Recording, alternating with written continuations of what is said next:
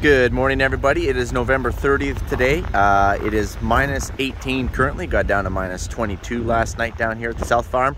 Um, we got some trucks. I already met some trucks on the road. We got some more trucks down there loading, and we are going to uh, hop in my uh, White International here, fire it up. It has not been running. It hasn't been running since we washed it. Uh, what was that? A few days ago now. I do have a Webasto on here, but I did not have it set. And it got a lot colder than I thought it was going to. I actually only thought it was going to get down to minus 10. It got down to minus 23 degrees. Uh, so that's pretty chilly. So it was not plugged in. I did not have it anywhere where it could be plugged in. So we're going to do a cold start. Oh.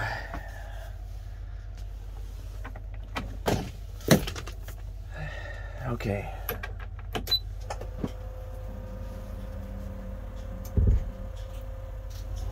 Whoa! Sorry about that.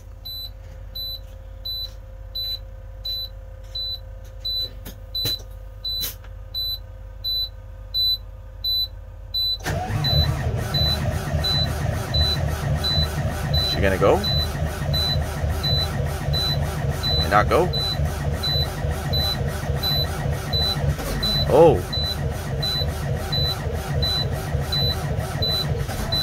Come on. Come on. Come on. Uh-oh. Come on, baby. Come on.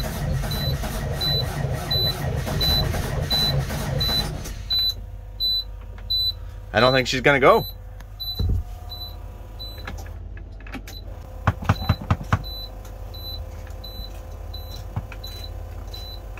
Oh, nope. That might be it here. Oh. Here. Try this again.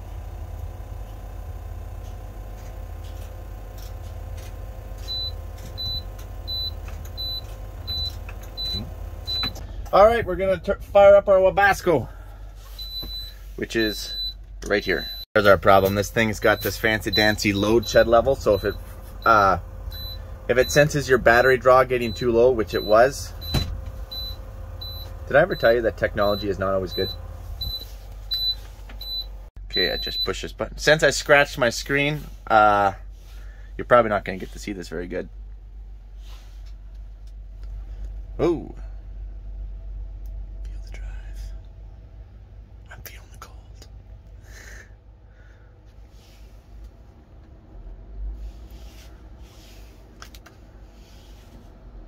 Oh, I'm to have to go through and set this thing all up.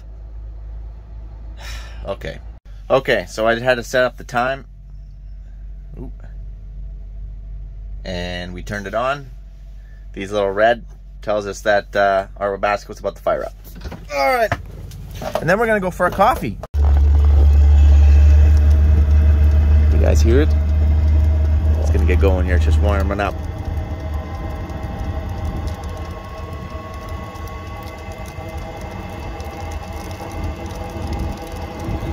This should be our exhaust hose.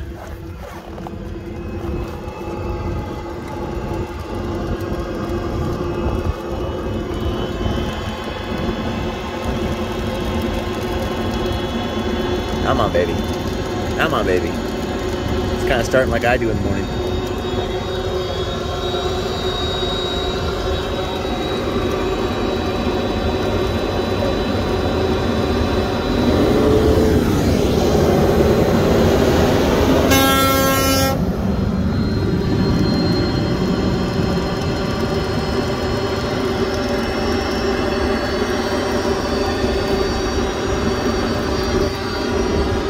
Well,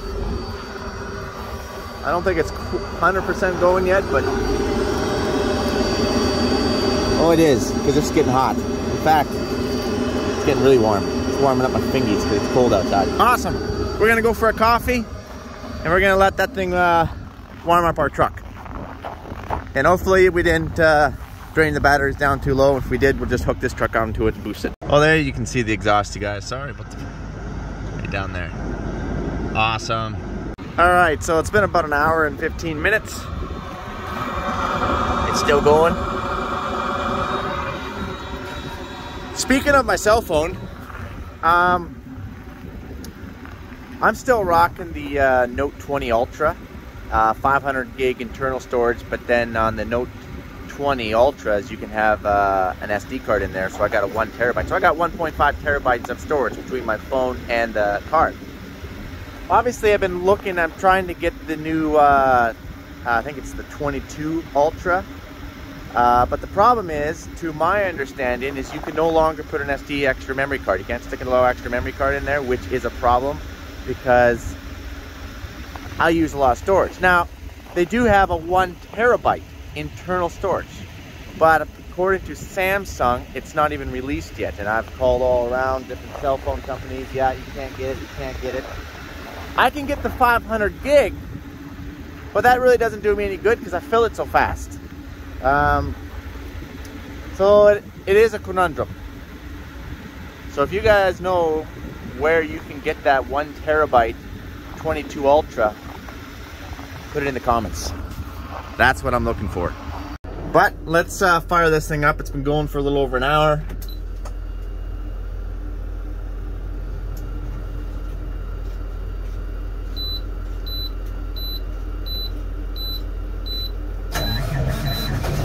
Oh, well there you go. Fired right up. So obviously, you know, I think I told you guys, you can auto set these suckers.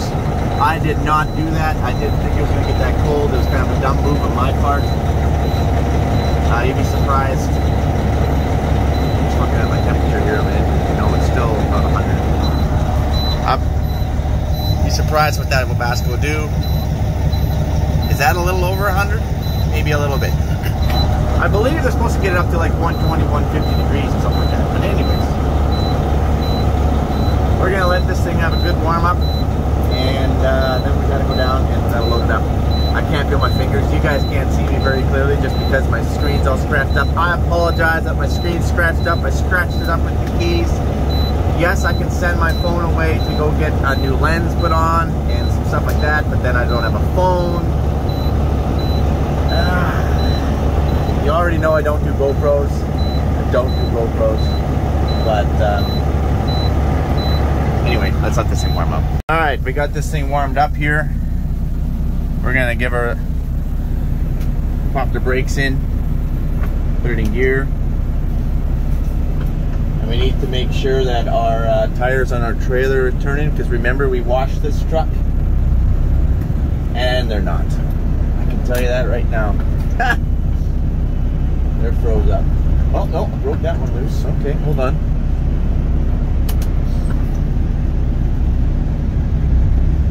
No, this thing still feels like it's something's dragging here. All right, I'm gonna try and show you. It's hard to, so what you do as a trucker, every morning, whether you washed it prior or not, it doesn't matter whether you just parked it the night before.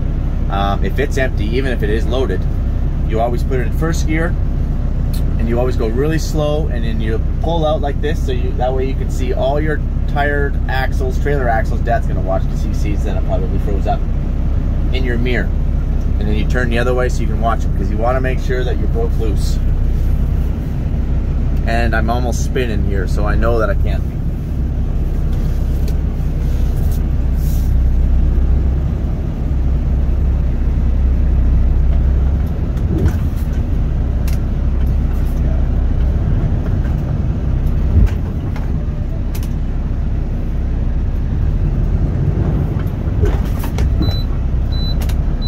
Got one axle here on the tri at the back. See, I'm gonna see if I can. Oh, my windows are froze up. Of course they are. Okay, the first one is snowed all the way around. It's turning. That look at that back one. I'm gonna try back up. Whoa, sorry about that. It is not turning. The two on the back. Oh, I think it maybe did it break loose. It broke loose. Holy crap! It broke loose. We're gonna zoom back in here. We're gonna go forward, turning, turning, the back two. On that back trailer, I think we're turning. That middle one is turning, you can tell by looking at the ground. It's turning. Okay, they're all turning on this side. Look at this side here, see if this window will go down. No, it's rose up too.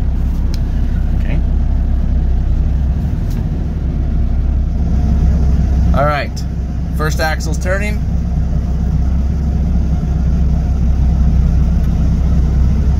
Third axle's turning. Middle one, I think it is here. Yes, it is. Back two. It's hard to tell, I know, I'm sorry, but there's a bunch of film on my, uh, it's, it's actually off my mirror. Probably just open this thing up.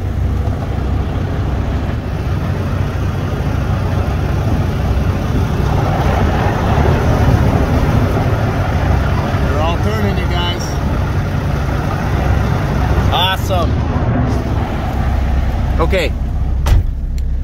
So just so you know, you can actually put these yellow reflective, uh, I don't actually know what they're called, but they just bolt on on your lug nuts.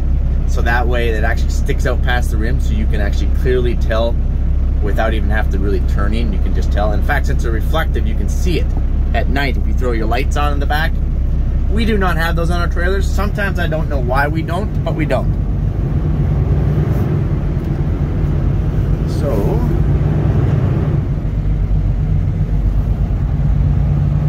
all right. Another thing, obviously, you want to do, um, which I have already done when I washed it. Remember when I was greasing, you want to make sure you set up all your brakes, you check all your brakes. Make sure you do a walkthrough, make sure all your lights work. That's actually part of your pre-trip. Technically, you're supposed to do a pre-trip. Of course, I always do my pre-trip, you. All right, let's head down to the bins here. Also, if you are wondering about my check engine light, you're like, Mike, your check engine light is on and you're nearly out of DEF. That is because this truck no longer requires DEF. And because of that, I have a check engine light on and uh, it's not supposed to be on. It just kind of came on. I just got to take it back. It's just because the engine doesn't see that it's using the DEF and or something like that. So uh, I'm all for environmental crap. Just has to be reliable. And we all know how reliable DEF is during the Canadian winters. But you know, speaking of DEF, you know what would actually fix the reliability of DEF, you guys? Is if it was actually mandatory for the commercial airlines to have to use DEF. Like the big diesel users. Let's talk about the big fuel users of the world. The commercial airlines, even the private jets. Um, you've got the locomotives, the train engines that haul all your freight and fertilizer and all the grain to the ports. How about all those big grain ships that are filling pump full of grain and then they're going to all different parts of different parts of the world uh, to sell that? Um, how about the cruise ships that you're sitting on? Uh, they're not required to run DEF either. Um, uh, how about the aircraft carriers? They're not required to run DEF. How about the battleships? They're not required to run DEF. How about the uh, fighter jets, the stealth planes? They're not required to run DEF either. In fact, you won't find a lot of emergency vehicles using DEF. If the option is available, like ambulances for an example, they'll always run big gas engines. Why? Because it doesn't work very good for having a 911 call and you're going out because someone's actually dying and you throw a DEF code and it puts your engine in derate and then your, your ambulance can no longer actually get to where you need to go and that person dies. But could you imagine putting DEF on commercial airlines? Just think about that for a second, you guys. Just think about that. You have 200 people in that airline. Most of them are like these Boeing 737 Maxes, have two engines on them, and all of a sudden it's like, oh yeah, we have a DEF code in one, and the DEF line froze up on number two, and we're gonna put uh, number two is definitely done. Like that engine is shutting that shutting down. We're going to derate engine number one because an air code came up and you happen to be over the Atlantic Ocean, well, you are all going to die. I hate to break it to you, but you're all going to die. You imagine the headlines of every single airline coming down out of the out of the sky crashing because of a DEF code. It's like we're going to derate your engine and there's nothing you can do. I bet you they would fix a lot of that DEF stuff. Guaranteed they would. Guaranteed. If lives started depending on it, they would fix it. But since they're not required to do it, it's a do as I say, not as I do. Well, that's not gonna last for very long, let me tell you about that. Anyways, we gotta load this thing up. It is cold out here. We gotta let this engine warm up.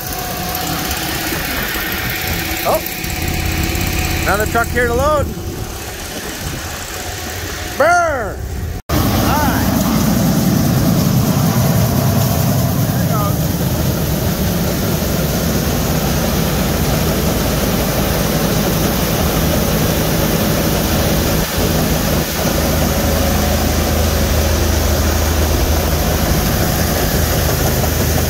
So this is durum, we're hauling durum.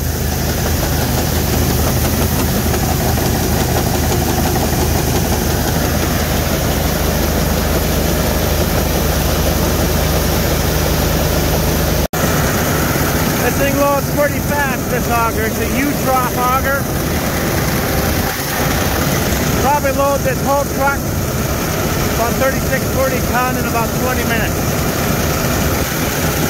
Holy crap, can't feel my fingers. Anyway, I'm gonna load this and let you guys go. All right, we're on our last hopper, hopper number four. Um, we've been loading for uh, 13 minutes here so far. So, and I can see, I can see it piling up there. Right down there, yep. So pretty much 20 minutes load. And we're hauling secondary loads here this time, which means 36 tons of actual product that you're bringing in. Uh, winter weights for our highways haven't quite uh, been activated yet. So once the ground is all froze solid, highways are froze eight feet down or six feet down or even only five feet down, they'll uh, allow us to haul primary, which is 44 ton. 40, 42 ton maybe, can't remember. 42, 44 ton of product instead of 36. So.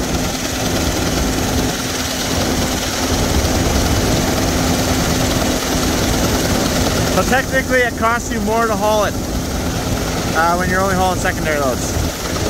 Still burning about the same amount of fuel, just taking less parts, makes more trips. All right, I think we loaded in under 20 minutes. I think it was more like 18 minutes or something like that. So anyway, pretty quick load. As long as the bins are full, once you're down on the floor and run the sweep, it does take a little bit longer.